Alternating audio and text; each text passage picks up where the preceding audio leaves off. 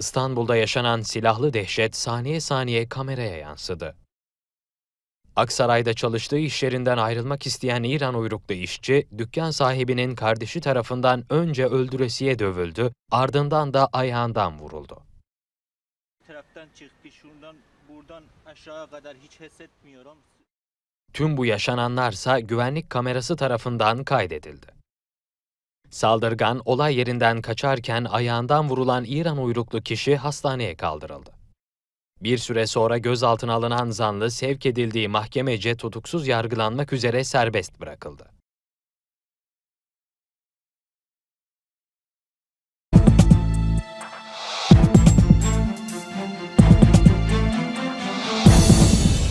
Ülkehaber.com